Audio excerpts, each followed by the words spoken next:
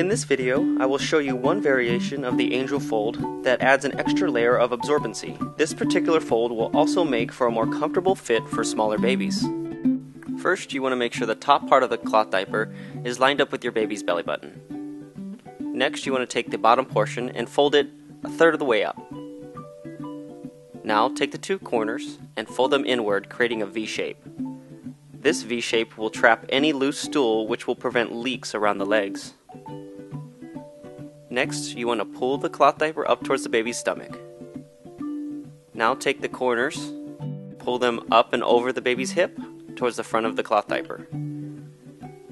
You need a diaper fastener. Attach it to the corner.